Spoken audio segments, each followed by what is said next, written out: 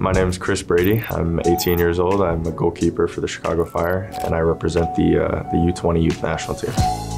When I put on that US crest, I'm now representing an entire country. So you get this massive sense of pride and like perform for your country. And then smaller, represent your team.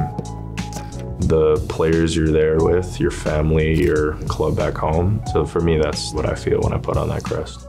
This was the photo taken after the final of the U20 Olympic and U20 World Cup qualifiers down in Honduras. And for me, this is my proudest moment.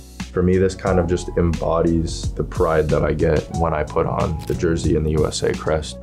My personal goal is ultimately to be called into the World Cup squad and represent this amazing country. It's going to take a lot of hard work and a lot of dedication, but talking about goals, breaking in with the senior team, and hopefully one day in four years, I break through and am able to represent this amazing country on the world stage.